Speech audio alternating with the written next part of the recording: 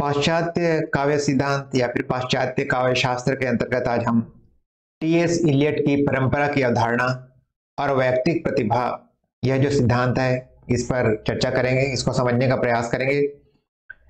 T S Elliot की परंपरा की अवधारणा और वैयक्तिक प्रतिभा और कुछ किताबों में यह लिखा हुआ भी मिलता है। टी एस इलियट की परंपरा की अवधारणा और वैयक्तिक प्रज्ञा या फिर व्यक्तिगत प्रतिभा या व्यक्तिगत प्रज्ञा। इसको इंग्लिश में बोलते हैं T S Eliot's concept of tradition and individual talent तो परीक्षा में चाहे जो भी पूछा जाए, वैयक्तिक प्रज्ञा बोले या फिर वैयक्तिक प्रतिभा या जो भी आपको इसी उत्तर को लिखना है, इन बिंदुओं के आधार पर परीक्षा में आप इसका उत्तर लिख समझ, लिख सकते हैं। सबसे पहले लिखना है आपको प्रस्तावना। प्रस्तावना में आपको हमेशा जिस लेखक या कवि के विषय में, उसके जीवन के विषय में, उसकी कुछ रचनाओं के विषय में लिखना ज़रूरी होता है। और सिद्धांत, जिस अवधारणा पर आप बात कर रहे हैं, इसकी थोड़ी बहुत जानकारी देनी होती है। इसके बाद हम देखेंगे परंपरा की अवधारणा और अन्य आयाम। क्या क्या इसकी विशेषताएँ हैं? क्या यह अवधारणा क्या है? यह कॉन्सेप्ट क्या है? परंपरा और वैयक्तिक प्रतिभा। परंपरा मतलब ट्रेडिशन और वैयक्तिक प्रतिभा। मतलब किसी व्यक्ति की स्वयं की प्रतिभा। व्यक्तिगत प्रतिभा में और परंपरा में क्या संबंध होता है? यह संबंध होना क्यों आवश्यक है? परंपरा के आलोक में रचनाकार का मूल्यांकन एवं तुलनात्मक अध्ययन। परंपरा को ध्यान में रखकर किसी रचनाकार का कैसे मूल्यांकन किया जा सकता है और उस रचनाकार का उसके पूर्ववर्ती जो रचनाकार हैं, कृतिकार हैं, या फिर जो लेखक या कवि हैं, उनके साथ कैसे हम तुलना कर सकते हैं? और अंत में उपसंहार। नमस्कार, मैं भूपेंद्र पांडे, हिंदी चैनल में आप सबका हार्दिक स्वागत करता हूँ। और अगर अभी तक आपने मेरे चैनल को सब्सक्राइब नहीं किया है तो मेरे चैनल को सब्सक्राइब करें। साथ ही बेल आइकन को दबाना ना भूलें ताकि मेरे प्रत्येक वीडियो के अपडेट्स आपको मिलते रहे। चलिए, ज़्यादा वक्त न लेते हुए शुरू करते हैं। सबसे पहले देखते हैं प्रस्तावना। आधुनिक काल के पाश्चात्य समीक्षकों में टी एस इलियट का नाम यहाँ पर अठारह गलत लिखा गया है। आधुनिक काल के पाश्चात्य समीक्षकों में टी एस इलियट का नाम अत्यंत महत्वपूर्ण है। इनका जीवन काल है अठारह सौ अठासी से लेकर उन्नीस ईस्वी। इनका जन्म सेंट लुई, अमेरिका में हुआ। किंतु शिक्षा पेरिस और लंदन में हुई। बाद में वे लंदन में बस गए। वे 20वीं सदी के महान कवियों और आलोचकों में गिने जाते हैं। बहुत ही प्रसिद्ध, बहुत ही महान व्यक्तित्व हुए हैं।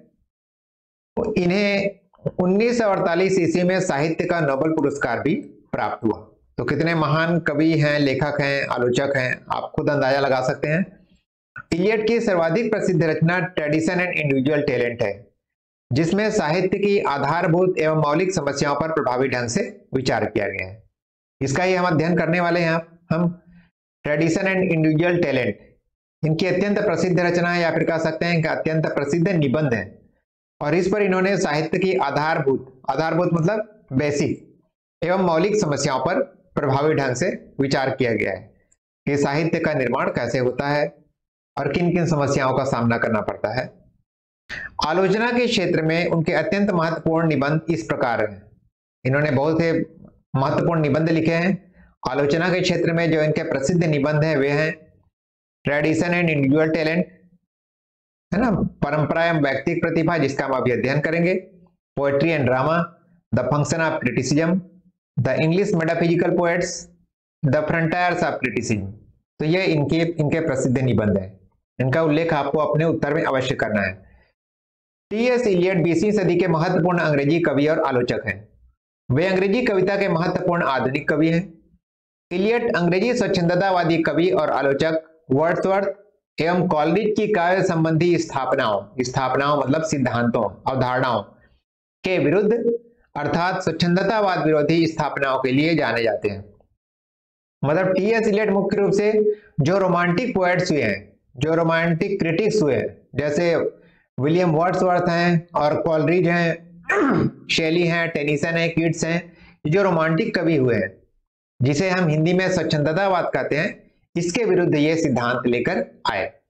क्योंकि जो रोमांटिक कविता है, स्वच्छंदतावादी कवि है, उसमें कवि को अत्यधिक महत्व दे दिया गया था। कवि के व्यक्तित्व को अत्यधिक महत्व दे दिया गया था और परंपराओं की उसमें कोई भूमिका नहीं थी। मतलब कवि जो था, समाज से कट गया था। उसके जो पर्सनल फीलिंग्स और इमोशंस होते होते थे, जो उसकी वैयक्तिक या निजी अनुभूतियाँ होती थी, उसे ही स्वच्छंदतावाद के माध्यम से व्यक्त किया गया है। तो रोमांटिक जो कवि थे, जो स्वच्छंदतावादी जो कवि थे William Wordsworth Coleridge Shelley Keats Tennyson ये जो रोमांटिक कवि हैं, ये रोमांटिक क्रिटिक हैं, आलोचक हैं उस समय क्या होता था? स्वच्छंदतावाद में केवल व्यक्ति अथवा कवि की निजी अनुभूतियों को कवि के व्यक्तित्व को ही सर्वाधिक महत्व दिया जाता था। और परंपराओं का या फिर समाज से उसका कोई सरोकार नहीं था। इसी के विरुद्ध टी एस इलियट अपना नया सिद्धांत लेकर आए और इसे उन्होंने नाम दिया ट्रेडिशन एंड इंडिविजुअल टैलेंट, परंपरा और वैयक्तिक प्रतिभा। इलियट ने अंग्रेज़ी कविता एवं आलोचना में आधुनिकता का पथ प्रदर्शन किया। तथा अंग्रेज़ी अंग्रेज़ी आलोचना की स्थापनाओं के विरुद्ध नई मान्यताएँ प्रस्तुत की। पहले जो पहले से जो चली आ रही थी, जो अवधारणाएँ थी, जो सिद्धांत थे, उनके विरुद्ध इन्होंने अपने अपने मौलिक सिद्धांत लेकर आए, अपनी मौलिक अवधारणाएँ लेकर आए। तो ये आधुनिक थे अत्यंत। इसके अतिरिक्त उन्होंने अंग्रेज़ी के महान रचनाकारों, शेक्सपियर, मिल्टन तथा बेन जॉनसन आदि का पुनर्मूल्यांकन किया। इनकी दोबारा इन्होंने आलोचना की और इनका दोबारा से इनका मूल्यांकन किया। किसका? शेक्सपियर, मिल्टन बेन जॉनसन का। टी एस इलियट ने आलोचना के कुछ सिद्धांत निर्मित किए। इनकी प्रमुख स्थापनाएँ हैं, इनके प्रमुख सिद्धांत हैं। परंपरा की अवधारणा अथवा परंपरा का सिद्धांत, वस्तुनिष्ठ सह संबंध या समीकरण का सिद्धांत, निर्वैयक्तिकता का सिद्धांत, जैसे सिद्धांत इनके प्रमुख सिद्धांत हैं। यदि आपके आपके परीक्षा में केवल परंपरा की अवधारणा या परंपरा का सिद्धांत आता है, तब भी आपको इसी उत्तर को लिखना है। चाहे आपकी परीक्षा में परंपरा के, परंपरा की अवधारणा, परंपरा का सिद्धांत पूछा जाता है, या फिर आपको पूछा जाता है परंपरा और वैयक्तिक प्रतिभा, या परंपरा अथवा वैयक्तिक प्रज्ञा, तब भी आपको इसी उत्तर को लिखना है। अब परंपरा की अवधारणा और अन्य आयाम देखते हैं, हम क्या कहें, परंपरा की अवधारणा के अंतर्गत क्या क्या बातें आती हैं? टी एस इलियट ने परंपरा को आधुनिकता के संदर्भ में रखकर देखा और उसका मूल्यांकन किया। मतलब उन्होंने यह बताया कि परंपरा किस प्रकार आधुनिकता से जुड़ी हुई है और परंपरा का मूल्यांकन हम आधुनिक विचारधारा के आधार पर भी कर सकते हैं। टी एस इलियट की परंपरा की अवधारणा को जानने से पहले परंपरा के सामान्य अर्थ को समझते हैं। चलिए सबसे पहले हम समझते हैं कि परंपरा का अर्थ क्या होता है। तीन शब्द होते हैं, परंपरा, प्रथा और रूढ़ी। ये लगभग मिलते जुलते शब्द होते हैं। परंपरा वास्तव में एक समाज शास्त्री पद है। समाज शास्त्र का यह शब्द है। सोशियोलॉजी का, सामान्य रूप से जब हम परंपरा शब्द का उपयोग करते हैं, तब हमारा आशय यह होता है कि अतीत से चली आ रही प्रथाएँ, रीति रिवाज, किंतु किसी भी अर्थ में परंपरा से हमारा तात्पर्य रूढ़ियों से नहीं होता। परंपरा से क्या तात्पर्य होता है? जो हमारी पुरानी प्रथाएँ हैं, जो हमारे पुराने रीति रिवाज हैं, उनसे ही मिलकर हमारा, हमारी परंपरा बनती है। लेकिन परंपरा रूढ़ी से अलग होती है। रूढ़ी से कैसे अलग होती है? जैसे सती प्रथा है। या फिर विधवा विवाह निषेध है। आपको मालूम है कि पहले समय में सती प्रथा प्रचलित थी। मतलब जिन महिलाओं के पति की मृत्यु हो जाती थी तो उनको पति के शव के साथ सत, सती होना पड़ता था। तो यह रूढ़ी बन गई थी। तो रूढ़ी होती है नकारात्मक और परंपरा होती है सकारात्मक। यह आप ध्यान में रखिए। तो रूढ़ी बन गई थी सती प्रथा इसीलिए धीरे धीरे वह रूढ़ी समाप्त हो गई। वैसे ही विधवा विवाह निषेध था। पहले विधवाओं को भले ही वह कम उम्र में विधवा हो गई हो, युवावस्था में कोई महिला यदि विधवा हो गई हो तो पहले उसे पुनर्विवाह करने की, दोबारा शादी करने की अनुमति नहीं थी। यह एक रूढ़ी बन गई थी। तो यह प्रथा क्या बन गई थी? एक रूढ़ी बन गई थी। तो यह रूढ़ी होती है नकारात्मक। जो प्रथा नकारात्मक हो जाती है तो वह रूढ़ी बन जाती है और धीरे धीरे वह समाप्त भी हो जाती है। और जो प्रथा सकारात्मक होती है, वह परंपरा बन जाती है, परंपरा गतिशील होती है, जीवंत होती है, वह कभी समाप्त नहीं होती। तो परंपरा सकारात्मक शब्द है और रूढ़ी जो है, नकारात्मक शब्द है। किसी भी अर्थ में परंपरा से हमारा तात्पर्य रूढ़ियों से नहीं होता। हमारा अर्थ होता है कि लंबे समय से परंपरा से हमारा तात्पर्य होता है कि लंबे समय से जो आचार व्यवहार हम कर रहे हैं, वही हमारी परंपरा है। मतलब परंपरा जीवंत होती है, गतिशील होती है, प्रवाहमान होती है। अब हम समाज शास्त्रीय संदर्भ में इसको समझने की कोशिश करेंगे। समाज शास्त्र के आधार पर इसको समझेंगे। भारतीय समाज शास्त्री श्यामाचरण दुबे नाम के एक प्रसिद्ध समाज शास्त्री हुए हैं। उनका कहना है, परंपरा संस्कृति का वह भाग है, जिसमें भूतकाल से वर्तमान और वर्तमान से भविष्य तक निरंतरता बनी रहती है। मतलब परंपरा संस्कृति का वह हिस्सा है, जिसकी जड़ें भूतकाल में होती है और जो वर्तमान समय में फलता फूलता है और यह भविष्य तक आगे भी जारी रहता है। मतलब परंपरा की जो जड़ें हैं भूतकाल में होती है, वर्तमान में उसका तना होता है और फूल पत्ते जो होते हैं उसके भविष्य तक फैले रहते हैं। तो यह होती है परंपरा। अर्थात परंपरा वह नदी है जो अपने उद्गम से निकलती है और निरंतर प्रवाह मान रहती है। इसका अभिप्राय यह है कि परंपरा अतीत की कोई स्थिर इकाई नहीं है। अभी तो इसमें निरंतरता बनी रहती है। मतलब परंपरा वह प्रथा है, संस्कृति की वह हिस्सा है, जिसमें निरंतरता बनी रहती है, परंपरा कभी समाप्त नहीं होती। इसी निरंतरता के कारण परंपरा में जड़ता नहीं आती और वह अतीत तथा वर्तमान दोनों से जुड़ी रहती है। परंपरा की क्या विशेषता है? कि वह अतीत से भी जुड़ी रहती है, वर्तमान से भी जुड़ी रहती है और भविष्य में भी जारी रहती है।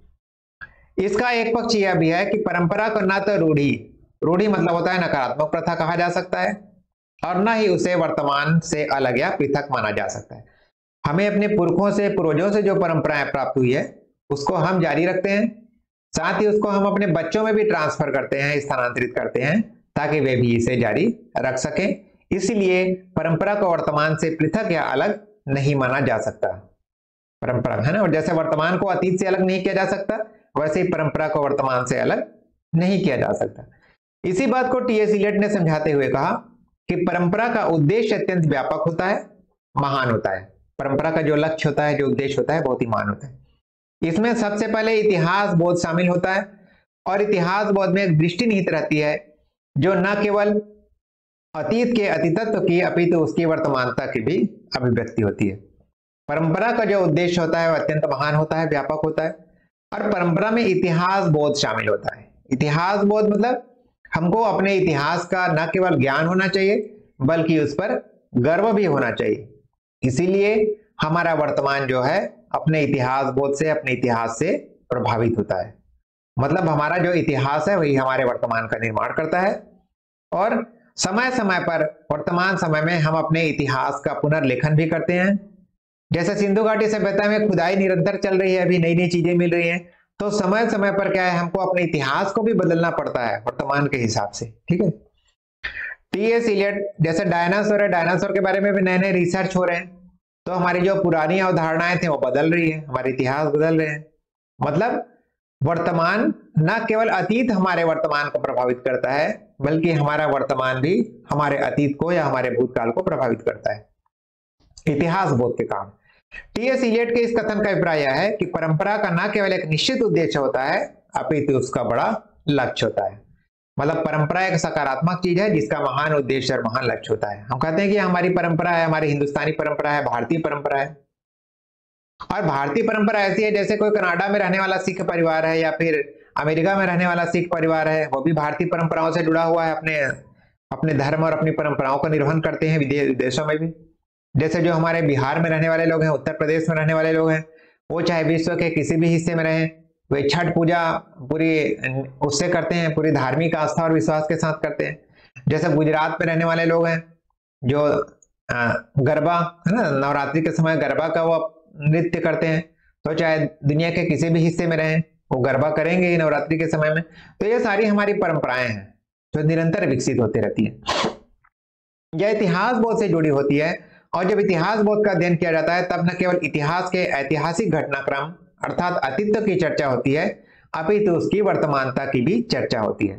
परंपरा का संबंध इतिहास बोध से होता है, और जब हम इतिहास बोध की बात करते हैं, तब न केवल हम ऐतिहासिक घटनाक्रम की बात करते हैं, उसके अतीत की बात करते हैं, बल्कि वर्तमान समय में उसकी क्या अहमियत है, उसकी भी चर्चा करते हैं कि हमारी परंपराओं का, हमारे अतीत का, हमारे इतिहास का वर्तमान समय में कितना महत्व है, वह वर्तमान से किस तरह से जुड़ा हुआ है?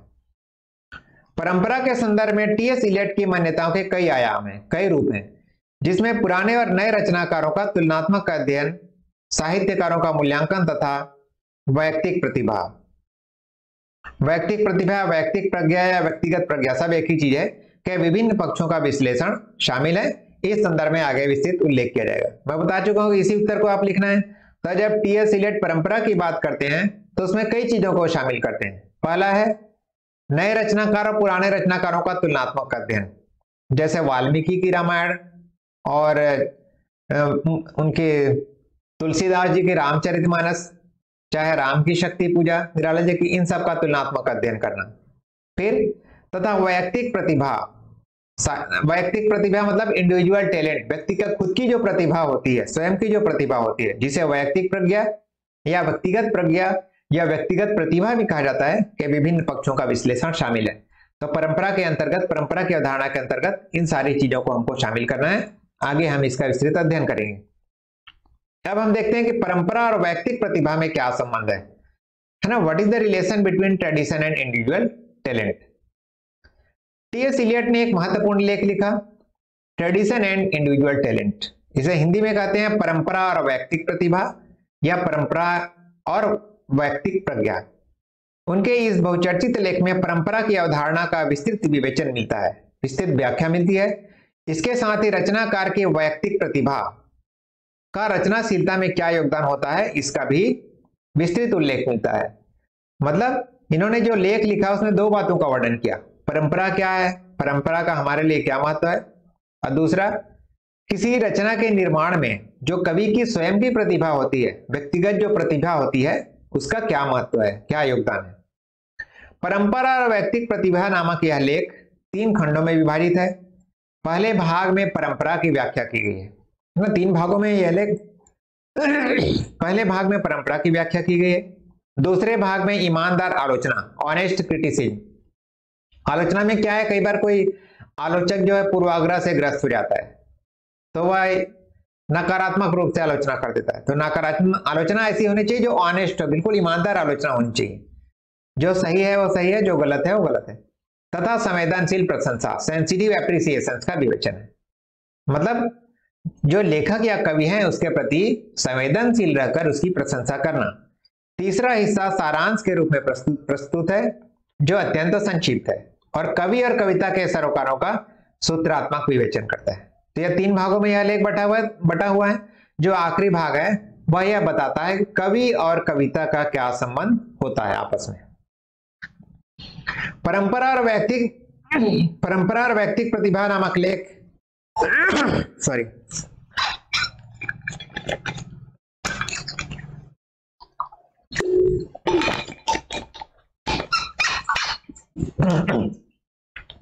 परंपरा और व्यक्तिक प्रतिभा नामक लेख।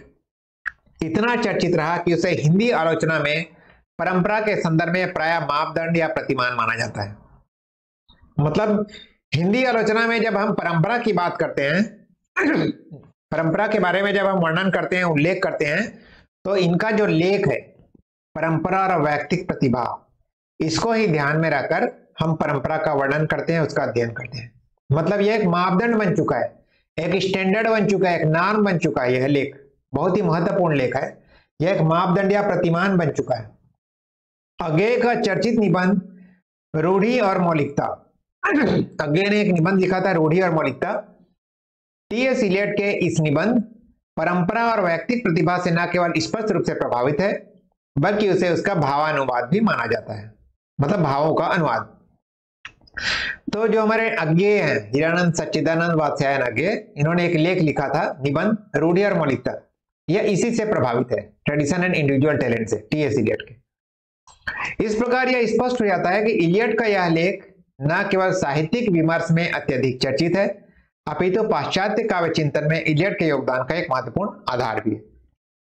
मतलब ट्रेडिशन एंड इंडिविजुअल टैलेंट नाम का यह जो लेख है, यह अत्यंत प्रसिद्ध है। तो न केवल साहित्यिक विमर्श साहित्यिक चर्चा का केंद्र रहा है, बल्कि पाश्चात्य काव्य चिंतन में टीएस इलियट का जो योगदान है, उसका महत्वपूर्ण आधार भी है। मतलब सर्वाधिक महत्वपूर्ण योगदान है यह लेख। बहुत ही महत्वपूर्ण लेख है। इनको नोबल पुरस्कार मिला है, बहुत ही विद्वान व्यक्ति है। जैसा कि प्राय साहित्यिक विमर्श एवं आलोचनात्मक मूल्यांकन में होता है मतलब जब हम कोई साहित्यिक चर्चा करते हैं या फिर किसी कृति की आलोचनात्मक रूप से मूल्यांकन करते हैं, तब यह प्रवृत्ति देखी जाती है कि किसी रचनाकार को समकालीन रूप से प्रासंगिक सिद्ध न करना हो और उसे कमतर महत्व का साबित करना हो तो सबसे आसान रास्ता होता है उसे परंपरावादी सिद्ध कर दें मतलब वर्तमान आलोचना में जब कोई आलोचक किसी कृतिकार या किसी रचनाकार या लेखक को वर्तमान समय में महत्व प्रदान नहीं करना चाहता या उसकी निंदा करना चाहता है, तब वह कह देता है कि यह तो बहुत पारंपरिक है।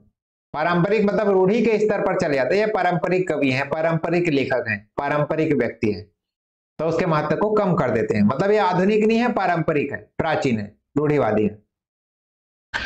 अंग्रेज़ी अंग्रेज़ी आलोचना की इसी प्रवृत्ति को स्पष्ट करते हुए इलियट कहते हैं कि प्राय हम यह कहते हैं कि किसी के यहाँ परंपरा का अभाव देखा गया है। मतलब इनके यहाँ परंपरा ही नहीं है। मतलब यह परंपरा से जुड़े हुए नहीं है।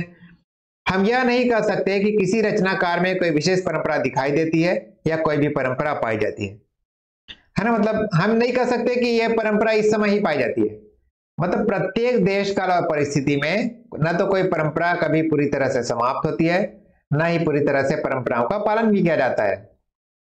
कभी कभी यह कहा जाता है कि कोई पारंपरिक है अथवा अत्यधिक पारंपरिक है। ऐसा इसलिए होता है कि किसी को पारंपरिक कहना एक निंदा परक टिप्पणी होती है। मतलब वर्तमान आलोचना में उस समय क्या प्रवृत्ति थी? अंग्रेज़ी आलोचना में समकालीन आलोचना में यह प्रवृत्ति थी। कहा जाता था कि ये लेखक पारंपरिक है ये कवि पारंपरिक है। तो यह एक निंदा परक टिप्पणी होती है। वास्तव में परंपरा कभी पूरी तरह से समाप्त नहीं होती। किसी न किसी रूप में लेख किसी ले, हर लेखक और कवि में परंपरा हमेशा विद्यमान रहती है क्योंकि हम समाज के हिस्से कोई भी लेखक या कवि क्या होता है? समाज का ही हिस्सा होता है। इसका आशय यह है कि आधुनिकता और उत्तर आधुनिकता के दौर में परंपरा की सार्थकता सीमित हो गई, प्रतीत होती है। किंतु जब हम परंपरा का सही संदर्भ में अध्ययन करते हैं तो परंपरा अप्रासंगिक नहीं, अपितु तो उपयोगी और मूल्यवान बन जाती है। तो कुछ ऐसे आलोचक होते हैं, जब ये कहते हैं कि ये कवि या लेखक पारंपरिक है तो उनका कहना यह होता है कि ना तो ये आधुनिक है, ना ये उत्तर आधुनिक है। तो उनका मानना यह है कि परंपरा तो यहाँ पर निरर्थक हो जाती है। ऐसे आलोचक की दृष्टि में परंपरा पूरी तरह से निरर्थक है। किंतु जब हम परंपरा का सही संदर्भ में अध्ययन करते हैं, गहराई से अध्ययन करते हैं, तब हमको पता चलता है कि परंपरा अप्रासंगिक नहीं है, बल्कि हमारे लिए अत्यंत उपयोगी और मूल्यवान है। तो वे परंपरा का महत्व स्थापित करना चाहते हैं टीएस इलेट इलेट का मानना है कि आलोचना वैसे ही अपरिहार्य है, जैसी हमारी साँसें और हमें कोई भी पुस्तक पढ़ते समय जो अनुभूति होती है, उसको व्यक्त करने के लिए हमारा मस्तिष्क एक आलोचनात्मक विवेक से काम करता है। मतलब किसी भी कृति को पढ़ते समय, या तो हमको आनंद का अनुभव होता है, या फिर हमको ऐसा महसूस होता है कि इसमें कुछ कमी रह गई, लेखक या कवि ने सही ढंग से इसको लिखा नहीं, या तो मतलब हम उसकी आलोचना करना चालू कर देते हैं, और यह स्वतः रूप से होता है, मस्तिष्क में अपने आप यह चलते रहता है ना? कोई कृति हमको अच्छी लगती है, कोई कृति हमको बुरी लगती है, कुछ कमी महसूस होती है तो यह स्वतः चलने वाली आलोचना है। ऐसी स्थिति में हम कवि की व्यक्तिगत विशेषताओं को ध्यान में रखते हैं। तो ऐसे समय में हमको पता रहता है कि जैसे विलियम वर्ड्सवर्थ है तो किस तरह के लिखेंगे नेचर पोएट हैं। जैसे हमारे सुमित्रा नंदन पंथ है, इनको प्रकृति के चितेरे कवि कहा जाता है तो किस तरह से उन्होंने लिखा हुआ। तो हम व्यक्तिगत विशेषताओं को ध्यान में रखते हैं। जैसे निराला को पढ़ते हैं तो वे बहुत ही क्रांतिकारी कवि हैं। उनको विशेषताओं को ध्यान में रखते हैं, उनके व्यक्तित्व को ध्यान में रखते हैं। हम कह सकते हैं कि इलियट इस स्थिति में कवि की वैयक्तिक प्रतिभा की बात करते हैं, किंतु यह वैयक्तिक प्रतिभा कवि के पूर्ववर्ती कवि से तुलना के बाद ही पता चलती है। तो ऐसे समय में जब हम टी एस इलियट का कहना है कि जब हम कवि के व्यक्तित्व का, को ध्यान में रखकर हम आलोचना करते हैं, तब हम कवि की व्यक्तिगत प्रतिभा की बात करते हैं। लेकिन कवि की व्यक्तिगत प्रतिभा कैसे पता चलेगी? तो कवि की व्यक्तिगत प्रतिभा का मूल्यांकन हम उनके पहले जो कवि हुए हैं, उनसे तुलना करके ही कर सकते हैं। मतलब तुलना बहुत ज़रूरी है। जैसे कोई व्यक्ति दौड़ रहा है, दौड़ में अकेले दौड़ रहा है, प्रथम आ गया। तो यह तो कोई दौड़ नहीं हुई।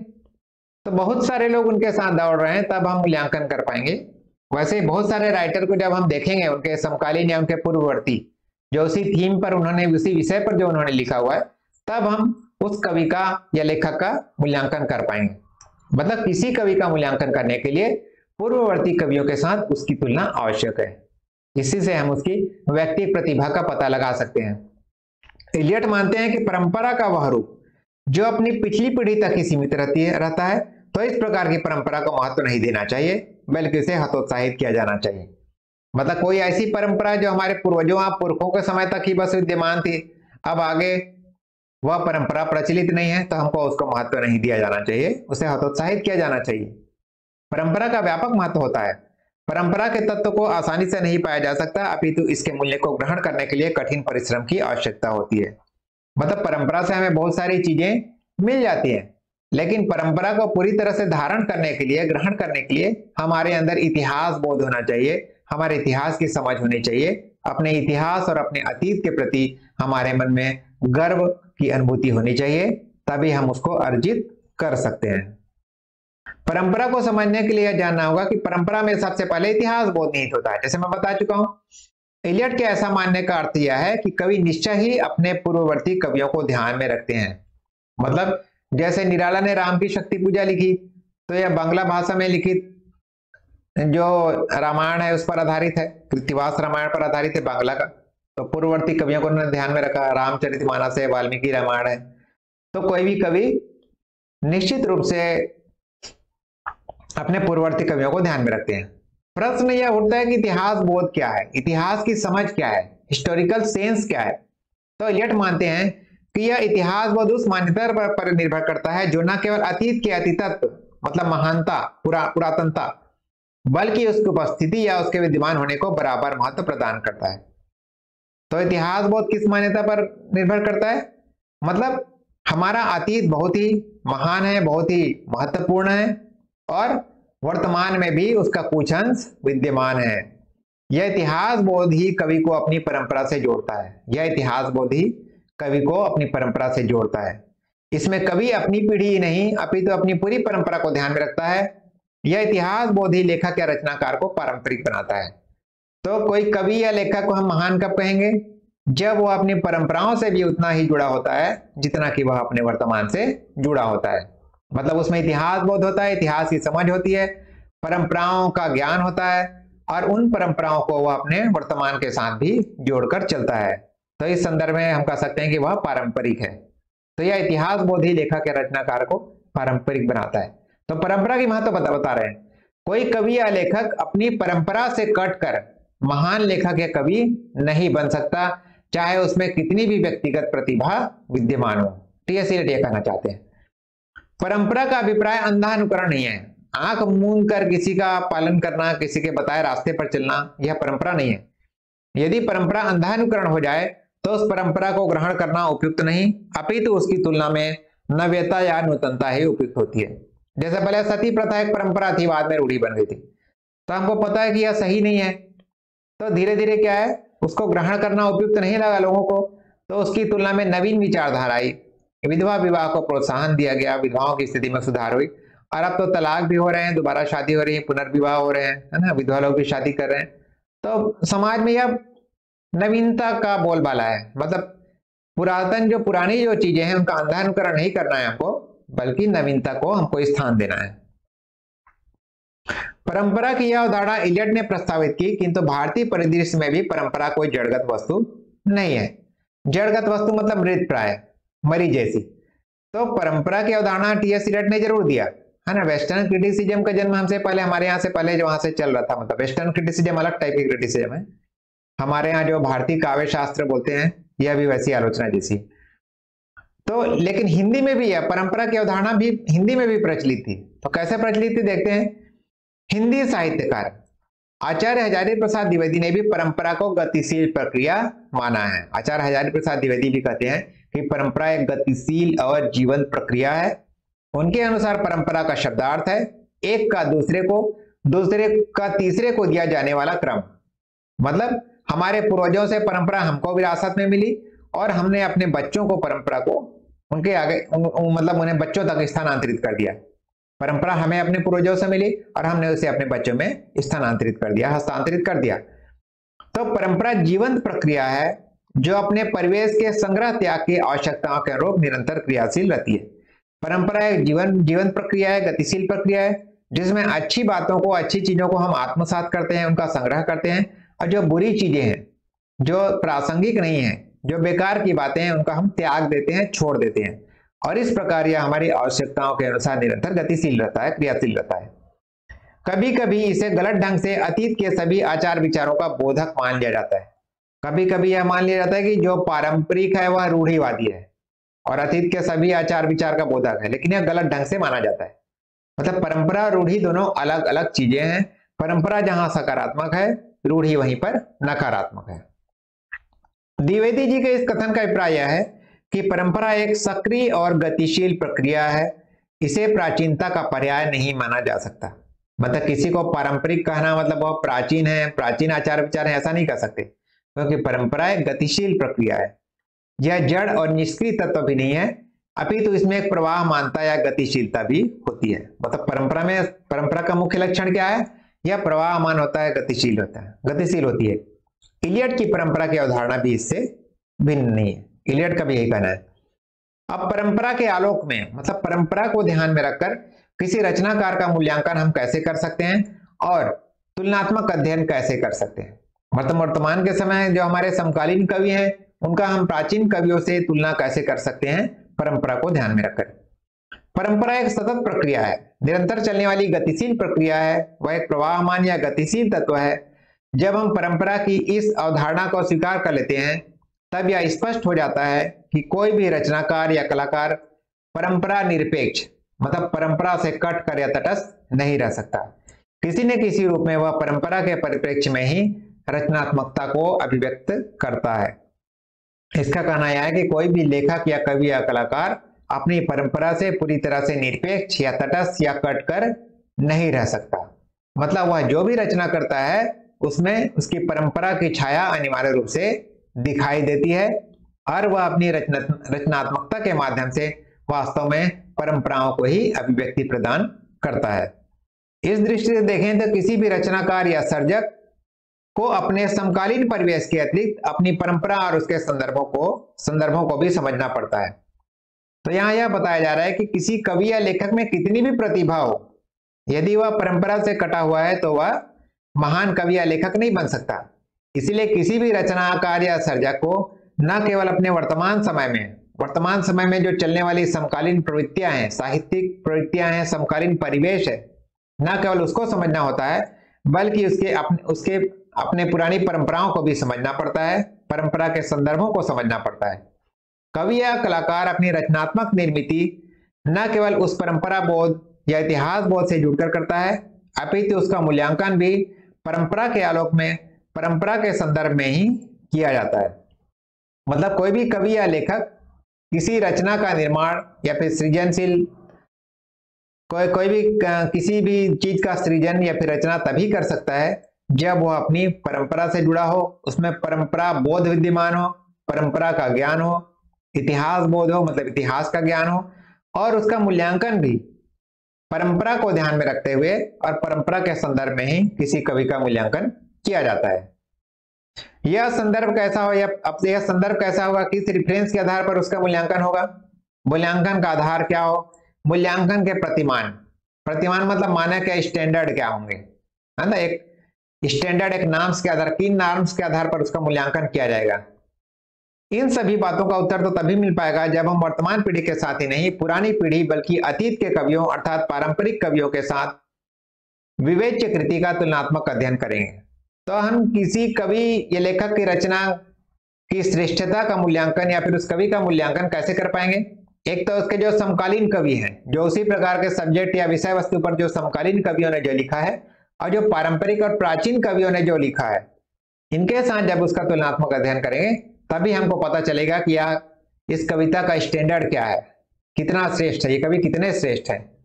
इसका अर्थ यह हुआ कि यदि किसी कवि का मूल्यांकन किया जाना हो तो अतीत के कवि के साथ उसके रचनात्मक वैभव, रचनात्मक श्रेष्ठता और रचनात्मक विशिष्टताओं का तुलनात्मक अध्ययन किया जाना आवश्यक है। तो यहाँ पर यह बता रहे हैं कि किसी कवि का मूल्यांकन करने के लिए पुराने जो कवि हुए हैं, जो उसी प्रकार के सब्जेक्ट में जिन्होंने लिखा है, उनके साथ उसका तुलना करना आवश्यक है। परंपरा का महत्व तो बता रहे हैं। टीएस इलियट ने अपने ढंग से इस बात को समझाया है। उनके शब्दों में कोई भी कवि या किसी भी कला का कोई भी कलाकार अकेले अपने स्तर पर सार्थक नहीं होता। उसकी महत्ता और उसकी प्रशंसा मृत कवियों और कलाकारों के साथ उसके संबंधों के आधार पर निर्धारित होती है। मतलब केवल आप एक एक ही कवि को पढ़ रहे हैं, एक ही लेखक को पढ़ रहे हैं और उसका मूल्यांकन कर रहे हैं तो मूल्यांकन संभव नहीं है। यदि आप उसका मूल्यांकन करना चाहते हैं, किसी कलाकार के या किसी कवि का मूल्यांकन करना चाह रहे हैं तो उसकी तुलना जो पुराने जो कवि हुए हैं, जो मृत हैं, जो मृत कवि और कलाकार हैं, उनकी रचनाओं के साथ, उनकी कला के साथ उसका तुलना करना पड़ेगा, तभी हम उसका मूल्यांकन कर सकते हैं। आप उसका अकेले मूल्यांकन नहीं कर सकते। आपको उसको, जैसे आप दुकान में कोई सामान खरीदने गए हैं, कोई, आपने कोई प्रोडक्ट का डिमांड किया, केवल एक ही है उसके पास। जैसे आप जूता खरीदने गए, सिर्फ़ एक ही जूता है उसके पास। तब आपको समझ में नहीं आएगा कि वो अच्छा है कि बुरा है। जब तक दो चार जूता देख लेंगे, तब आपको पता चलेगा। जैसे आप मार्केट में कोई किताब खरीदने गए, तीन चार राइटर की किताबें आपको जब तक आप नहीं देखेंगे, आपको पता नहीं चलेगा आपको किसको लेना है, कौन आपके लिए अच्छा है। वो ऐसा ही है। मतलब मूल्यांकन करने के लिए तुलना आवश्यक है। ऐसा टीएस लेट का मानना है। आप उसका अकेले मूल्यांकन नहीं कर सकते। आपको उस अमृत कवियों के साथ समानता और असमानता दोनों स्तरों पर अध्ययन करना पड़ेगा। यहाँ पर ये परंपरा की ही बात कर रहे हैं। पुराने जो कवि हुए हैं, जैसे होमर हैं, वर्जिल हैं हमारे यहाँ जैसे रामायण है रामचरितमानस है वाल्मीकि रामायण है। वाल, वाल्मीकि रामायण है प्राचीन रामायण है संस्कृत का फिर रामचरितमानस आ गया अवधि भाषा में उसके बाद फिर राम की शक्ति पूजा है हिंदी में खड़ी बोली में। तो इन सब का आपस में तुलना करेंगे तब आपको पता चलेगा। तो मेरा अभिप्राय यह है कि यह एक सौंदर्य सिद्धांत है केवल ऐतिहासिक आलोचना नहीं है। इसी प्रकार जैसे कम्ब रामायण है तमिल में और कृतिवास रामायण है बांग्ला में बहुत सारे रामायण लिखे गए इलियट की इस व्याख्या के तीन प्रमुख, मेरा अभिप्राय यह है कि यह एक सौंदर्य सिद्धांत है, केवल ऐतिहासिक आलोचना नहीं है। सौंदर्य सिद्धांत मतलब मूल्यांकन के द्वारा हम सौंदर्य का उद्घाटन करते हैं किसमें क्या सौंदर्य कितना श्रेष्ठ है। केवल यह ऐतिहासिक आलोचना ही नहीं है। ये ऐतिहासिक दृष्टिकोण को ध्यान में रखकर हम किसी कृति की आलोचना कर रहे हैं। तो इलियट की इस व्याख्या के तीन बिंदु हैं। तो संक्षेप में हम कह सकते हैं, तीन चीज़ों का उन्होंने मुख्य रूप से उल्लेख किया है। कोई भी रचनाकार या कलाकार अपनी परंपरा से अलग हटकर या पूरी तरह पृथक होकर रचना नहीं कर सकता। कोई भी रचनाकार या कलाकार कितना भी प्रतिभाशाली हो, वह अपनी परंपरा से हटकर या उसे पूरी तरह से अलग होकर पृथक होकर रचना नहीं कर सकता। तो स्वच्छंदतावादी कवि यही करते थे, उनको परंपरा से मतलब नहीं था। अपने पास्ट से या अपने प्रेजेंट के जो लोग हैं, समकालीन परिदृश्य उसे मतलब नहीं था। उनको अपनी मन की भावनाओं का व्यक्ति प्रदान करना था। अपने व्यक्तित्व को यह व्यक्ति प्रदान कर रहे थे वो इसी के विरोध में इन्होंने यह सिद्धांत लेकर आए। किसी भी कलाकृति या रचना तथा रचनाकार का मूल्यांकन केवल उस कृति या कृतिकार के स्तर पर नहीं किया जा सकता। किसी भी कलाकृति का मूल्यांकन करते हैं और केवल एक ही कलाकृति है तो उसका मूल्यांकन नहीं हो सकता।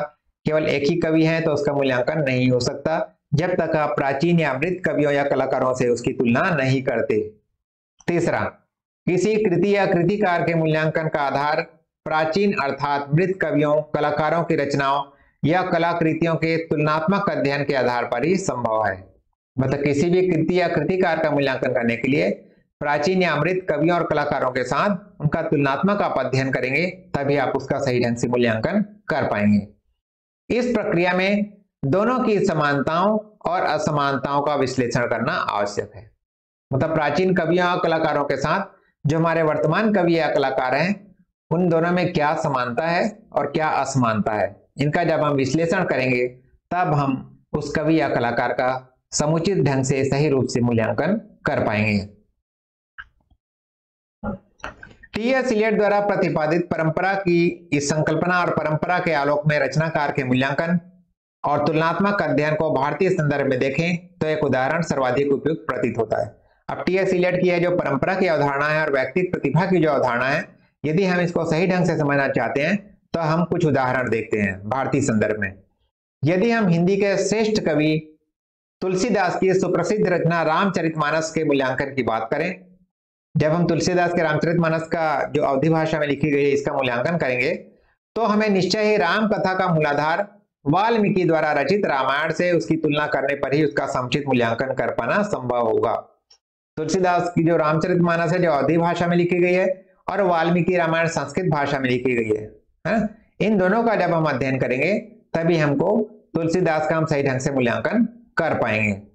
दोनों के तुलनात्मक अध्ययन के दौरान दोनों कृतियों के साम्य वैषम्य। वैषम्य मतलब समानता और असमानता। साम्य मतलब समानता, वैषम्य मतलब असमानता। जब हम दोनों का तुलनात्मक अध्ययन करेंगे, तब हमको क्या पता चलेगा कि दोनों ही कृतियों में क्या समानता है और क्या असमानता है। इसको हमको स्पष्ट करना होगा।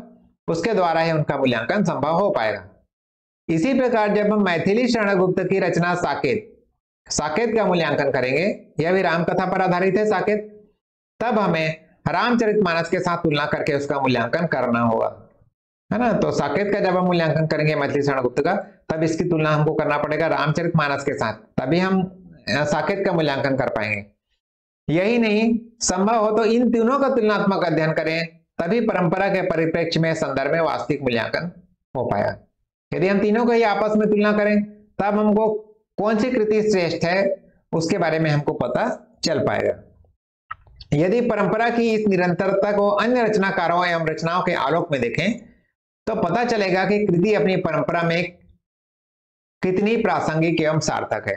मतलब परंपरा पर आधारित यह जो काव्य यदि हम विभिन्न काव्य कृतियों की तुलना करेंगे आपस में, तभी हमको पता चलेगा कि यह जो हमारी कृति है, वर्तमान में जिसको लिखा गया है वह पारंपरिक दृष्टि से परंपरा की दृष्टि से कितनी प्रासंगिक है, कितनी सार्थक है। क्या इसमें परंपरा का निर्वाह हुआ है? या हमारी जो गौरवशाली परंपरा रही है, उसको यहाँ पर समुचित स्थान दिया गया है कि नहीं, उसका निर्वाह किया गया है कि नहीं? उदाहरण के लिए, यदि इसमें राम, निराला की राम की शक्ति पूजा, यह भी राम की शक्ति पूजा, राम कथा पर आधारित है। यदि इसको भी जोड़ लिया जाए तो सभी कृतियों के साम्य वैषम्य, समानता और असमानता के विश्लेषण के परिप्रेक्ष्य में रचनाओं का वास्तविक मूल्यांकन संभव हो सकेगा। मतलब यदि हम सभी राम कथा पर आधारित सभी कृतियों को देखते हैं, वाल्मीकि रामायण और रामचरित मानस तुलसीदास की, फिर साकेत, मैथिली शरण गुप्त की, फिर ये सूर्यकांति पाठी निराला जी की राम की शक्ति पूजा, इन सबका आपस में हम मूल्यांकन करेंगे। इनमें क्या समानता है, क्या असमानता है देखेंगे, तभी इन रचनाओं का वास्तविक मूल्यांकन कर पाएँगे। इस प्रकार कहा जा सकता है कि परंपरा के संदर्भ में ही रचना अपनी सार्थकता और गुणवत्ता सिद्ध करती है। मतलब परंपरा को ध्यान में रखकर ही हम किसी कृति का समुचित मूल्यांकन कर सकते हैं और उसकी सार्थकता और उसकी गुणवत्ता का पता लगा सकते हैं कि इसमें कितनी क्वालिटी है। अब एक दूसरे उदाहरण से भी इसे समझने की कोशिश करते हैं। एक दूसरा उदाहरण देखते हैं। हिंदी साहित्य का भक्ति काल रचनात्मकता की दृष्टि से अत्यधिक समृद्ध है, क्योंकि हिंदी का जो भक्ति काल है उसे स्वर्ण युग कहा जाता है स्वर्ण काल किंतु इन रचनाओं का सरोकार लगाव या जुड़ाव कहीं ना कहीं परंपरा से इतना गहरा जुड़ा है कि उसे अलग थलग करके समझना कठिन हो जाता है। मतलब भक्ति काल में जो रचनाएँ लिखी गई हैं, वो पूरी तरह से हमारी परंपरा पर आधारित है। परंपरा से उनका गहरा जुड़ाव है, परंपरा से उसे अलग करके समझना बहुत ही कठिन है। अभी हमने रामकथा के संदर्भ में परंपरा के आलोक में मतलब परंपरा को ध्यान में रखकर हमने रामकथा के संदर्भ में रचनाकार के मूल्यांकन और उस परंपरा से जुड़े कवियों तथा काव्य कृतियों के तुलनात्मक अध्ययन की चर्चा की है। मतलब परंपरा को ध्यान में रखकर हम राम कथा पर आधारित जितनी भी रचनाएँ हैं, उनकी कैसे तुलना की जा सकती है, उसका अध्ययन किए। इसी क्रम में यदि हम कृष्ण भक्ति काव्य की परंपरा और रचनाकारों के तुलनात्मक अध्ययन की बात करें तो कुछ उपयुक्त और प्रासंगिक संदर्भों का उल्लेख करना आवश्यक ज्ञान पड़ता है। अभी हमने राम कथा देखा, राम भक्ति काव्य अब हम कृष्ण भक्ति काव्य में देखते हैं। हम सूरदास की रचनाओं का संदर्भ ग्रहण करते हैं। जैसा कि आप जानते हैं कि बल्लभाचार्य द्वारा प्रतिपादित पुष्टि मार्ग की परंपरा से सूरदास जुड़े हुए थे। है ना? सूरदास कृष्ण भक्ति काव्य के सर्वश्रेष्ठ कवि हैं, जो बल्लभाचार्य के जो पुष्टि मार्ग है, उस पर दीक्षित थे। उनके शिष्य थे। अष्ट छाप के कवि थे। सूरदास की रचनाओं का स्रोत क्या है? श्रीमद भागवत महापुराण। मतलब भागवत पुराण कहा जाता है, का दसम दसम स्कंद है। इनकी रचनाओं का जो मूल स्रोत क्या है? श्रीमद भागवत महापुराण का दसम स्कंद है। यहाँ से प्रभाव ग्रहण किया गया है। परंतु सूरदास की कल्पना शक्ति, उनके इमेजिनेशन और उनकी काव्य प्रतिभा, उनका इंडिविजुअल जो टैलेंट था, जो उनमें प्रतिभा थी, काव्य शैली का वैशिष्ट या विशिष्टता प्रदर्शित करती है। है ना? ब्रज भाषा में जब इन्होंने जब इन्होंने रचना लिखी, जो श्रीमद भागवत महापुराण, पुराण जो संस्कृत में है, इसके आधार पर इन्होंने ब्रज भाषा में जब लिखा तो ब्रज न केवल ब्रज भाषा को ऊंचाई तक पहुँचाया बल्कि कृष्ण भक्ति काव्य को भी शिखर तक इन्होंने पहुँचाया। तो यह उनकी खुद की प्रतिभा थी। जब इनकी वैयक्तिक प्रतिभा और परंपरा का मेल हो गया, जब इन दोनों का संयोग हो गया, तब हमको बहुत ही उत्कृष्ट काव्य कृतियाँ देखने, सुनने और पढ़ने को मिलती है। अब, अतः अब हमें सूरदास का मूल्यांकन करना हो तो भागवत पुराण के आलोक में करना होगा मतलब यदि हम सूरदास का मूल्यांकन करना चाहते हैं, उनके काव्य का मूल्यांकन करना चाहते हैं तो हमको किसको ध्यान में रखना पड़ेगा? उस उनके काव्य का जो मूल स्रोत है, श्रीमद भागवत महापुराण है, उसको हमको ध्यान में रखना पड़ेगा। इसी प्रकार कृष्ण भक्ति की परंपरा में आधुनिक काल में जो रचनाएँ लिखी गई, उदाहरण के लिए अयोध्या सिंह उपाध्याय हरियोत की रचना प्रिय प्रवास इसका मूल्यांकन करते समय सूरदास की रचनाशीलता को ध्यान में रखना होगा। इनके बीच तुलना करके हम किसी निष्कर्ष तक पहुँच सकते हैं। मतलब यदि हम अयोध्या सिंह उपाध्याय हरिओत के प्रिय प्रवास का मूल्यांकन करना हो, उसकी आलोचना करनी हो, उसकी महत्व का प्रतिपादन करना हो, तब हमको क्या करना होगा? उसकी तुलना सूरदास के काव्य से, उसकी तुलना हमको करनी होगी, कृष्ण काव्य से। यह बात सही है कि कृति के मूल्यांकन का यह सर्वोत्तम प्रतिमान मानक या स्टैंडर्ड नहीं हो सकता, क्योंकि रचनाकार अपने समकालीन परिदृश्य, काव्य शैली तथा काव्य भाषा और सरकारों को ध्यान में रखकर रचना करता है। अब यहाँ पर एक छोटी सी बात हमको समझनी होगी कि हर बार ऐसा नहीं कि हम पुराने कवियों, पुराने काव्य से ही हम तुलना करते रहे, है ना? मतलब क्योंकि हर कवि अपने वर्तमान परिदृश्य को ध्यान में रखकर लिखता है। तो केवल हम प्राचीन कवियों, प्राचीन काव्य को मापदंड बनाकर नहीं चल सकते, है ना? यही नहीं, वह अपने समकालीन परिधि से प्रभावित हुए बिना नहीं रह सकता। मतलब निश्चित रूप से कोई भी कवि जो वर्तमान समय में, समकालीन समय में जो कविता लिख रहा है, वो अपने वर्तमान के जो समाज है, उससे तब प्रभावित होगा ही इसलिए सिर्फ़ परंपरा के परिप्रेक्ष्य में ही रचनाकार का मूल्यांकन होना चाहिए, तथा तुलनात्मक अध्ययन के आधार पर ही मूल्यांकन संभव है। यह मान्यता पूर्णतः स्वीकार्य नहीं है। मतलब टी एस इलेट का जो कहना था कि सिर्फ़ पारंपरिक कवियों के साथ, प्राचीन कवियों के साथ ही आप तुलना करके उसका मूल्यांकन कर सकते हैं। यह पूरी तरह से गलत है। यह पूरी तरह से स्वीकार्य नहीं है। कि वर्तमान समय में जो कवि लिख रहा है तो वर्तमान समय के कवियों के साथ, वर्तमान परिदृश्य के साथ उसकी तुलना की जानी चाहिए। मतलब वह एकांगी दृष्टिकोण है। यदि हम किसी कवि का मूल्यांकन करना चाहते हैं, तब हम सिर्फ़ पुराने कवियों, प्राचीन कवियों के साथ ही, प्राचीन रचनाओं के साथ ही उसकी तुलना करें, प्राचीन या मृत कवियों के साथ ही उसकी तुलना करें तो यह एकांगी दृष्टिकोण है, एक तरफा दृष्टिकोण है, और ऐसे में सही ढंग से मूल्यांकन करना संभव नहीं है, अतः यह मान्यता पूर्णतः स्वीकार्य नहीं है। इसके बावजूद भी, यह कहना भी इतना ही उपयुक्त एवं स्वीकार्य नहीं होगा कि परंपरा तथा प्राचीन रचनाशीलता को पूर्णतः अस्वीकार करके किसी कवि या रचना का मूल्यांकन संभव है। इसके साथ ही हम यह भी नहीं कह सकते कि प्राचीन कवियों या प्राचीन रचनाकारों की पूरी तरह से उपेक्षा कर दें, परंपरा की पूरी तरह से उपेक्षा कर दें और कवि का मूल्यांकन करें। तो कहने का तात्पर्य है, किसी भी कवि का मूल्यांकन करते समय न केवल परंपराओं को ध्यान में रखना पड़ेगा कि हमारी प्राचीन परंपरा क्या है, बल्कि वर्तमान परिदृश्य को भी ध्यान में रखना पड़ेगा। प्राचीन कवियों के साथ साथ वर्तमान के जो कवि हैं, जो समकालीन कवि हैं, समकालीन रचनाएँ हैं, उनके साथ भी उसका तुलना करना आवश्यक है। परंपरा से पूर्णता अलग होकर मूल्यांकन संभव नहीं, न ही परंपरा की पूर्णता उपेक्षा हो सकती है।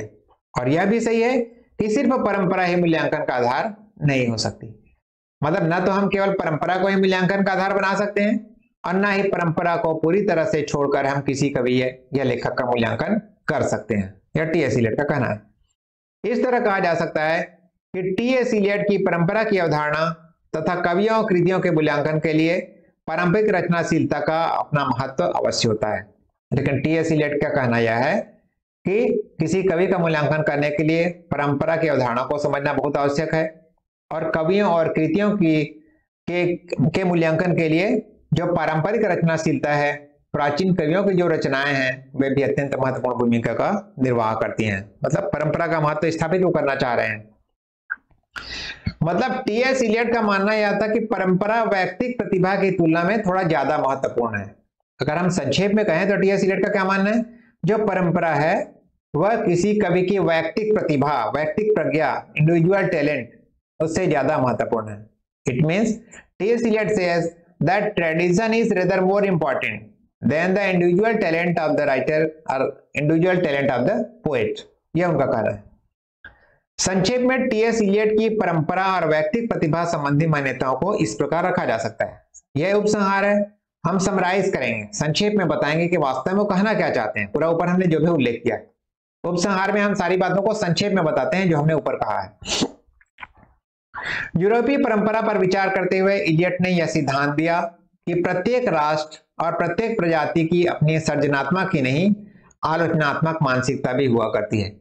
जो मैं पहले बता चुका हूँ कि प्रत्येक प्रजाति या प्रत्येक राष्ट्र केवल सृजन ही नहीं करता, बल्कि आलोचना भी करता है। जब भी हम किसी कृति का अध्ययन करते हैं तो हमारे दिमाग में साथ ही साथ आलोचना और समालोचना भी चलती रहती है। दूसरा है, किसी रचनाकार की महत्व प्रतिष्ठा करते समय मतलब उसका महत्व स्थापित करते समय, हम प्राय उसकी वैयक्तिक विशिष्ट, विशिष्टताएँ, व्यक्तिगत विशेषताएँ, व्यक्तिगत प्रतिभा खोजकर दिखाने का प्रयत्न करते हैं। उसके पूर्ववर्ती कवियों से उसकी भिन्नता या असमानता या विशिष्टता को पहचानने में ही हमें प्रसन्नता होती है। मतलब जब हम किसी कवि को महान साबित करना चाहते हैं, तब हम बताते हैं कि उसके व्यक्तित्व में क्या की खासियत है। और उसके पहले जो कवि हुए हैं, उनसे वह किस तरह अलग है, किस तरह खास है, और इसको ही बताने में हमको प्रसन्नता महसूस होती है। किंतु यदि हम ठीक से खोजबीन करें तो पाएँगे कि किसी कवि की रचना के श्रेष्ठ ही नहीं, सर्वथा वैयक्तिक पक्ष भी वही होते हैं। जिनमें उसके पूर्ववर्ती रचनाकारों का प्रभाव प्रभावशाली ढंग से व्यक्त हुआ है। परंतु जब भी हम किसी कृति का मूल्यांकन करते हैं या किसी कवि का मूल्यांकन करते हैं, तब हम पाएँगे कि उसने जिन बातों का उल्लेख किया है, जिन चीज़ों का उल्लेख किया है, जिसके ऊपर उसने लिखा है, उसके पूर्ववर्ती कवि कवि उससे भी बेहतर तरीके से वहाँ पर लिख चुके हैं। मतलब प्राय ऐसा होता है। मतलब जो मेन चीज़ जो मेन थीम होता है, मुख्य विषय वस्तु होता है उस पर प्राचीन कवि भी अपना सर्वश्रेष्ठ दे चुके होते हैं, जिसमें हमारे वर्तमान कवि ने अपना सर्वश्रेष्ठ दिया है। ज़ाहिर है कि वैयक्तिक प्रतिभा मतलब इंडिविजुअल टैलेंट परंपरा से विच्छिन्न रहकर मतलब अलग हटकर कट कर काट कर अलग किया हुआ, निरपेक्ष या असंबद्ध वस्तु नहीं है। मतलब कहने का तात्पर्य है जो व्यक्तिक प्रतिभा है इंडिविजुअल टैलेंट है, वह परंपरा से पूरी तरह से कटी हुई नहीं होती। मतलब जब परंपरा के साथ वैयक्तिक प्रतिभा जुड़ जाती है, व्यक्तिगत प्रतिभा जुड़ जाती है, तब हमको सर्वश्रेष्ठ साहित्य प्राप्त होता है, मास्टरपीस प्राप्त होता है। मतलब जो व्यक्तिगत प्रतिभा है, वैयक्तिक प्रतिभा है, या फिर वैयक्तिक प्रज्ञा है, वह परंपरा से कोई पूर्ण रूप से कटी हुई, निरपेक्ष मतलब उससे कोई संबंध नहीं रखना और असंबद्ध। ऐसी वस्तु नहीं है, दोनों का आपस में चोली दामन का संबंध होता है। परंपरा से गहरे अर्थों में जुड़कर ही कवि अपनी वैयक्तिक सामर्थ्य, वैयक्तिक प्रतिभा को अधिक प्रभावी रूप से उजागर कर सकता है। मतलब परंपरा से जो कवि जितना गहरे रूप से जुड़ा रहेगा तो उसकी जो सामर्थ्य होगी, है ना, उसमें जो वैयक्तिक सामर्थ्य होगी, वैयक्तिक प्रतिभा होगी, वह उसको अत्यंत प्रभावी ढंग से अभिव्यक्ति प्रदान कर सकता है। हिंदी में तुलसीदास और निराला इसके अच्छे उदाहरण है कि कैसे राम काव्य परंपरा से जुड़कर इन कवियों ने रामचरितमानस और राम की शक्ति पूजा को नूतन काव्य में ढाल दिया। मतलब राम काव्य परंपरा से जुड़कर इन कवियों ने राम के जो जो चरित्र है है ना? और उसके ऊपर जो इन्होंने काव्य जो लिखा, उसको इन्होंने नई ऊंचाइयों तक पहुँचा दिया है। इन कृतियों में वैयक्तिक प्रतिभा के प्रस्फुटन में परंपरा बाधक न बनकर सहायक सिद्ध हुई है। मतलब इनमें जो व्यक्तिगत प्रतिभा तो थी, चाहे निराला हो, चाहे तुलसीदास हो, इनमें व्यक्तिगत प्रतिभा तो कूट कूट कर भरी हुई थी। लेकिन जब परंपरा से ये जुड़ गए, परंपरा से इन्हें वाल्मीकि रामायण प्राप्त हुई थी उससे जब ये जुड़ गए, तब यह परंपरा इनकी प्रतिभा के प्रस्फुटन में, प्रतिभा की अभिव्यक्ति में बाधक नहीं, बल्कि सहायक सिद्ध हुई और उन्होंने राम कथा, राम काव्य को नई ऊंचाइयों तक पहुँचा दिया। तीसरा, रचनाकार के लिए परंपरा सांस की तरह सहज, स्वाभाविक, अनिवार्य, नैसर्गिक है मतलब किसी कृति का जब तक मूल्यांकन नहीं होगा, जब तक उसकी आलोचना नहीं होगी। या परंपरा जब तक वह परंपरा से जुड़ा नहीं रहेगा, कोई रचनाकार तब तक वह सहज और स्वाभाविक रूप से अपनी अभिव्यक्ति नहीं कर सकता। रचनाकार के लिए परंपरा उतनी ही ज़रूरी है जितनी कि हमारे लिए सांस। यह प्राकृतिक क्रिया है, जो उससे जुड़ा रहता है।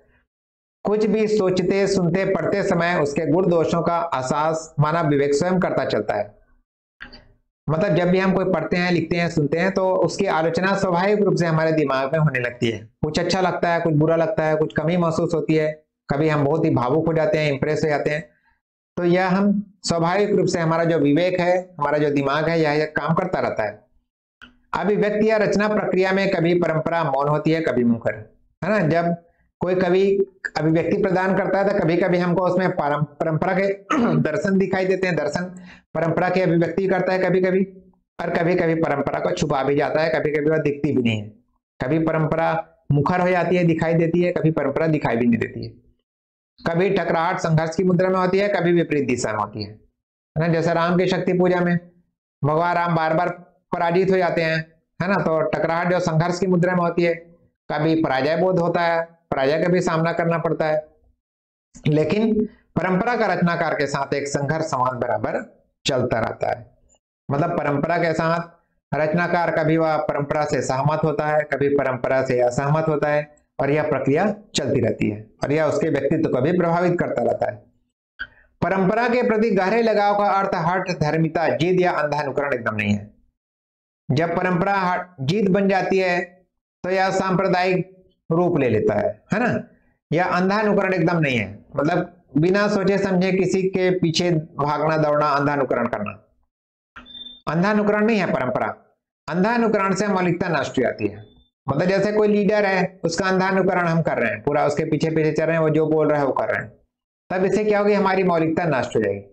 हम किसी का भी अनुकरण यदि करते हैं, किसी का भी नकल हम करते हैं, किसी का अनुकरण करते हैं इमिटेट करते हैं किसी को तो हमको आँख मूंद कर नहीं करना चाहिए। आँख मूंद कर हम जब किसी की नकल करेंगे, दूसरों के जैसा बनने का प्रयास करेंगे तो हमारी मौलिकता ही नष्ट हो जाएगी। परंपरा की व्यापक अर्थवत्ता अर्थवत्ता मतलब अर्थ की संपन्नता, कि उसमें कौन सा अर्थ विद्यमान है? परंपरा की व्यापक अर्थवत्ता तो सृजन कर्म की नवीनता मौलिकता में ही प्रतिफलित होती है। मतलब परंपरा का व्यापक अर्थ कब प्रस्फुटित होता है? जब परंपरा के द्वारा नवीनता का प्रादुर्भाव होता है। नवीनता या मौलिकता जन्म लेता है। जैसे वाल्मीकि रामायण है, या फिर जो कृतिवास रामायण है, बांग्ला का, उसको पढ़कर इन्होंने निराना ने लिखा राम की शक्ति पूजा। तो इनकी नवीन और मौलिक उद्भावना है, जिसमें उन्होंने भगवान राम को एक साधारण मनुष्य की तरह चित्रित किया है। जो पराजित भी होते हैं, जो दुखी भी होते हैं, हमारे आम आदमी की जो भावनाएँ होती हैं, वो भगवान राम की भावनाएँ हैं। इसमें राम की शक्ति पूजा में तो इससे नवीनता और मौलिकता है। परंपरा से जुड़कर जो परंपरा नवीनता या मौलिकता को जन्म देती है, वही सार्थक होती है। इलियट ने जोड़ देकर कहा कि परंपरा को दाय। दाय मतलब होता है जो हमको उत्तराधिकार से प्राप्त होता है, हमको पूर्वजों से प्राप्त होता है। परंपरा को दाय या विरासत के रूप में प्राप्त नहीं किया जा सकता। उसकी प्राप्ति के लिए कठोर तप, साधना या श्रम आवश्यक है। मतलब परंपरा ऐसा नहीं कि हम इस समाज में जन्म लिए हमको परंपरा विरासत में मिल जाएगी। टी एस का कहना यह है, उसके लिए मनुष्य को परिश्रम करना पड़ता है। अपने अंदर इतिहास बोध, इतिहास का ज्ञान, परंपरा बोध, परंपरा का ज्ञान उत्पन्न करना पड़ता है। तभी हम उसको अर्जित कर सकते हैं, उसको ग्रहण कर सकते हैं। परंपरा का अर्थ है इतिहास बोध हिस्टोरिकल सेंस मतलब इतिहास का न केवल ज्ञान, बल्कि इतिहास के प्रति गर्व की अनुभूति। कवि में इतिहास बोध होना चाहिए। इतिहास बोध का तात्पर्य अतीत के अतीत तो कहीं नहीं है। अभी तो उसकी वर्तमानता का अनुभव है। इतिहास बोध का तात्पर्य केवल यह नहीं कि हमको सिर्फ़ क्रोनोलॉजिकल ऑर्डर में दिन तिथि के साथ हमको पता है इतिहास में क्या क्या हुआ, कब हुआ। बल्कि हमको यह मालूम होना चाहिए कि यह हमारा इतिहास है और इस इतिहास ने हमारे वर्तमान को इस तरह से प्रभावित किया है।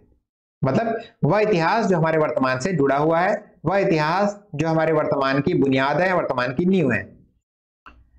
Perception not only of the pastness of the past but of its presence इतिहास बोध अपनी पीढ़ी के रचना कर्म को ध्यान में रखकर लिखना नहीं है, बल्कि उसमें होमर वर्जिल से लेकर पूरे यूरोप के साहित्य के साथ ही अपने देश के समग्र साहित्य दोनों का अस्तित्व हुआ करता है। अब इतिहास बोध का तात्पर्य नहीं कि सिर्फ़ प्राचीन बातों और प्राचीन कवियों, प्राचीन लेखकों, रचनाकारों का ही हम अध्ययन करें, उनके बारे में हमको पता रहे या उनसे ही तुलना करें। इतिहास बोध से तात्पर्य है, इतिहास जो प्राचीन है वो भी और वर्तमान में जो चल रहा है, जो समकालीन परिदृश्य है, उसको भी ध्यान में रखना है और अपनी परंपराओं का भी ध्यान में रखना है। और पारंपरिक रूप से हमको जो साहित्य प्राप्त हुआ है और वर्तमान समय में जो साहित्य लिखा जा रहा है, वो पूरे समग्र साहित्य का हम अध्ययन करें और उनकी आपस में तुलना करें। यह इतिहास बोध होता है। और हिंदी में ऐसी परंपरा को अर्जित करने ऐसी परंपरा को जीवंत करने का परिश्रम जयशंकर प्रसाद और अज्ञे के सृजन कर में दिखाई देता है। मतलब ऐसी परंपरा को जो ग्रहण किए हैं, जिन्होंने परंपरा को महत्व प्रदान किया है, ऐसे दो महान कवि हिंदी में हुए हैं, जयशंकर प्रसाद जी और अज्ञे इलियट यदि अपने सृजन में अपने पुरखों, होमर आदि को बोलते पाते हैं तो हम प्रसाद जी के सृजन में अपने वैदिक ऋषियों की वाणी की अनुकूल सुनते हैं।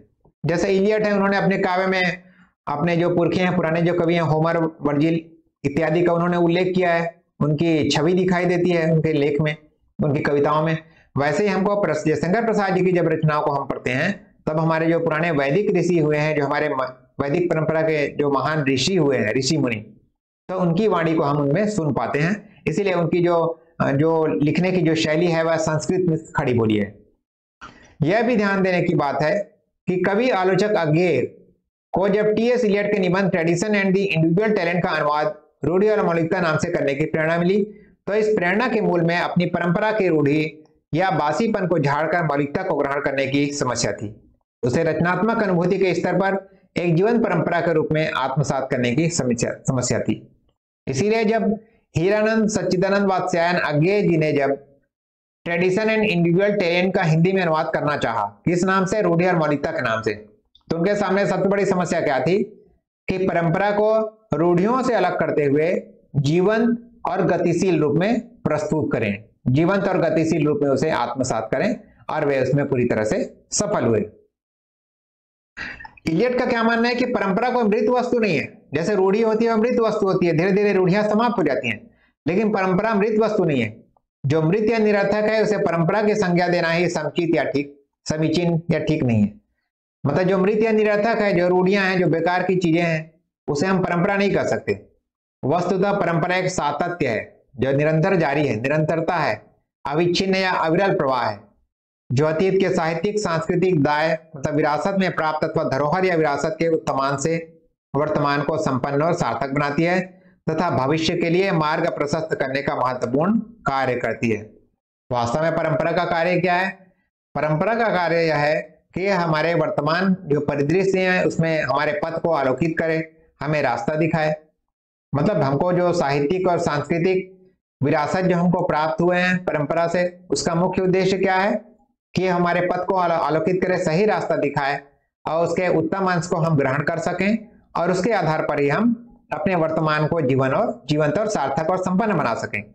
और साथ ही भविष्य के लिए भी वह हमारा पथ प्रशस्त करे मार्ग प्रशस्त करे, हमें रास्ता दिखाए। परंपरा का यह कार्य है इस दृष्टि से परंपरा का विस्तार देश और काल दोनों में होता है।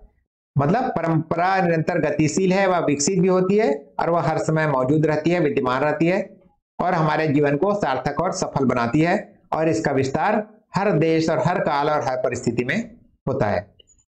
परंपरा के संदर्भ में विशेष बात यह है कि किसी भी कवि या कलाकार की अर्थवत्ता मतलब अर्थ की संपन्नता संपन्नता केवल अपने आप अकेलेपन में नहीं होती। इसकी सही अर्थवत्ता, उसकी प्रशंसा, दिवंगत या पूर्ववर्ती कवियों कलाकारों की सापेक्षता में ही होती है। मतलब ये बार बार इन्होंने यही यही बात कही है, किसी किसी भी कवि का मूल्यांकन, अकेले किसी कवि या कलाकार का मूल्यांकन नहीं कर सकते, बल्कि किसी भी कवि या कलाकार का मूल्यांकन करने के लिए हमको उसकी तुलना प्राचीन जो हमारे कवि हैं, उनसे करना आवश्यक होता है, जो परंपरा से जो प्राप्त, विरासत से जो प्राप्त साहित्य है उससे जब हम किसी कृति की तुलना करते हैं, तभी हम उसकी मूल्यांकन कर सकते हैं। किसी कलाकार की कृति का मूल्यांकन, पुराने जो कलाकार हुए हैं, उनके कृति को ध्यान में रखकर ही हम कर सकते हैं। उसका अकेलेपन में मूल्यांकन नहीं किया जा सकता। साम्य वैषम्य मतलब समानता या असमानता के लिए, उसे पूर्ववर्ती रचनाकारों के साथ रखकर देखना आवश्यक है। मतलब किसी भी कृति या रचना का मूल्यांकन करने के लिए पुराने जो कलाकार या कवि हुए हैं, उनकी रचना और कृतियों से उसकी तुलना करके ही हम उसका मूल्यांकन कर सकते हैं। इसके पीछे तर्क यह है कि जब भी किसी नई कलाकृति की रचना होती है तो उसके साथ पूर्ववर्ती सभी कृतियों का थोड़ा बहुत तालमेल बैठाना अनिवार्य हो जाता है। आपने देखा होगा कि कई फ़िल्में बनती हैं, जैसे कोई फ़िल्म बनी देवदास, अब शाहरुख खान की देवदास है, उसके बाद हम देखेंगे दिलीप कुमार की देवदास है, उसके बाद कई और देवदास फ़िल्म बनी हुई है, बांग्ला में और या हिंदी में। अब जो नई फ़िल्में आ रही हैं, उसमें कुछ ना कुछ पुरानी फ़िल्मों का अंश दिखाई देता है, उस टाइप का स्टाइल दिखाई देता है एक्टिंग मतलब जो नई कृतियाँ हैं, उसमें कुछ ना कुछ पुराने का अंश ज़रूर रहता है। तो नवीन कृति के आविर्भाव के पूरे विद्यमान कृतियों कलाकृतियों की एक स्थिर व्यवस्था होती है, एक परंपरा चली आती होती है, जो नवीन कृति के आने से कुछ ना कुछ परिवर्तित हो जाती है। मतलब जब पुरानी चीज़ों को हटाकर नई चीज़ें स्थान ले लेती हैं। नई कृति पुरानी कृतियों को अपनी जगह से ठेलकर अपने लिए जगह बनाती है। साम्य वैषम्य के निर्धारण में कृति का महत्व बढ़ जाता है, किसी का घट जाता है। अतीत को वर्तमान से उसी तरह परिवर्तित होना चाहिए, जिस तरह वर्तमान अतीत से नियंत्रित और निर्देशित होता है। कहने का तात्पर्य है कि जब कोई नई रचना या नई कृति आती है तो पुरानी कृति या कविता को वो हटा देती है और नई कविता अपना स्थान बना लेती है। है ना? तो उनमें जो समानता है या जो उसमें असमानता है, उसका जब हम अध्ययन करते हैं तो इससे क्या होता है? जो नई कृति है, या तो उसका महत्व बढ़ जाता है या उसका महत्व घट जाता है। वैसे ही जो पुरानी कृति है, नई कृति से जब हम उसकी तुलना करते हैं तो पुरानी कृति का या तो महत्व बढ़ जाता है या तो महत्व घट जाता है। जैसे देवदास फ़िल्म है। अब दोनों देवदास की तुलना करेंगे, दिलीप कुमार की देवदास और शाहरुख खान की देवदास।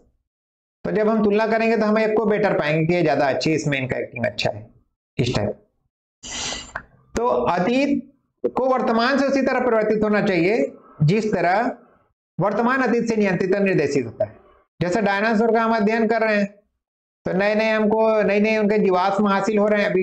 तो पुरानी जो धारणाएँ हैं कि कहाँ कहाँ तक फैले थे, उनके जीवाश्म का जब हम अध्ययन कर रहे हैं तो वर्तमान का जो हम अध्ययन कर रहे हैं, वो हमारी पुरानी जो थियरी है, पुराने जो सिद्धांत है, उसको बदल दे रहा है। वैसे जो सिंधु घाटी सभ्यता है सिंधु घाटी सभ्यता का जब हम अध्ययन करते हैं, उसके माध्यम से हमको पता चलता है कि वह एक नगरीय सभ्यता बहुत सभ्य सभ्यता थी। तो उसके आधार पर हम अपने वर्तमान तक पहुँचते हैं और वर्तमान में जब नई खुदाई होती है नए नए जगहों की खुदाई होती है नए नए जगह का जब पता चलता है उनकी खुदाई होती है, जो हड़प्पा सभ्यता या सिंधु घाटी सभ्यता से जुड़े हुए हैं, तब हमको हमारे इतिहास को बदलना पड़ता है। तो ये चीज़ है। आठवां, उल्लेखनीय है कि कवि को अतीत या परंपरा का ज्ञान तो होना चाहिए किंतु यह ज्ञान इतना भारी ना पड़े कि कवि चेतना को आक्रांत कर ले। मतलब कवि को अपनी परंपरा का ज्ञान होना चाहिए, इतिहास बोध होना चाहिए, लेकिन उसके व्यक्तित्व पर हावी इतना नहीं हो जाना चाहिए कि उसकी स्वयं की मौलिकता ही नष्ट हो जाए। प्राय, बहुत बार अतिशय अतीत ज्ञान के बोझ से काव्य संवेदना पोइटिक सेंसिबिलिटी या तो निर्जीव हो जाती है या प्रभावहीन होकर बिखर जाती है। कभी कभी किसी कवि को अपने अतीत इतना अतीत प्यारा होता है, अपनी परंपरा से इतना प्यार होता है कि उनका स्वयं का मौलिक जो व्यक्तित्व होता है, वही खत्म हो जाता है। उनकी काव्य संवेदना मर जाती है और वो सिर्फ़ परंपरा की ही बात करते हैं और उनकी संवेदना बिखर जाती है, उनकी मौलिकता, उनकी व्यक्तिगत प्रतिभा पूरी तरह से समाप्त हो जाती है। इसे कहते हैं अंधा अनुकरण आँख मूंद कवि के लिए अतीत की चेतना को विकसित करते रहना ज़रूरी है और उसे आजीवन विकसित करते रहना भी चाहिए। है ना? कवि के लिए ज़रूरी है, लेकिन उसका अंधानुकरण नहीं करना चाहिए। बल्कि इतिहास बोध और परंपरा बोध के आधार पर परंपरा को आत्मसात करना चाहिए और इस चेतना को हमेशा विकसित करते रहना चाहिए। कलाकार की प्रगति सतत आत्म बलिदान में है, व्यक्तित्व के सतत आत्मसमर्पण में है। मतलब कई को क्या करना चाहिए? अपनी प्राचीन जो परंपराएँ हैं, परंपराओं को पर्याप्त महत्व प्रदान करना चाहिए और अपने व्यक्तित्व को उसमें तिरोहित कर देना चाहिए सेक्रीफाइस कर देना चाहिए और व्यक्तित्व के सतत आत्मसमर्पण में है। व्यक्तित्व के इस निर्व्यक्तिकरण से ही मतलब डीपर्सनलाइजेशन से ही कला विज्ञान की स्थिति को प्राप्त कर सकती है। मतलब टी एस इलियट का मानना यह है कि कवि को अपने व्यक्तित्व को पूरी तरह से परंपरा को समर्पित कर देना चाहिए, तभी वह किसी महान कृति की इसका सृजन कर सकता है और इस स्थिति को बोलते हैं निर्वैक्तिकरण मतलब अपने व्यक्तित्व को पूरी तरह से तिरोहित कर देना, अपने व्यक्तित्व को पूरी तरह से मिला देना, समाप्त कर देना, समर्पित कर देना, समर्पण कर देना। तो इस तरह हमने देखा कि परंपरा और वैयक्तिक प्रतिभा अथवा वैयक्तिक प्रज्ञा में आपस में क्या संबंध है? और इसका नोट्स इसका पीडीएफ आपको लिंक में मिल जाएगा और मेरा टेलीग्राम चैनल भी है, उसे भी आप ज्वाइन कर सकते हैं। और यदि आज का या मेरा एपिसोड आपको अच्छा लगा होगा, आप इसे समझ पाए होंगे, तब कमेंट बॉक्स में कमेंट लिखकर ज़रूर बताएँ। साथ ही यदि अभी तक आपने मेरे यूट्यूब चैनल को आपने सब्सक्राइब नहीं किया तो मेरे चैनल को सब्सक्राइब करें और बेल आइकन को दबाना ना भूलें ताकि मेरे प्रत्येक वीडियो के अपडेट्स आपको मिलते रहें। साथ ही इस वीडियो को लाइक करें शेयर करें। धन्यवाद।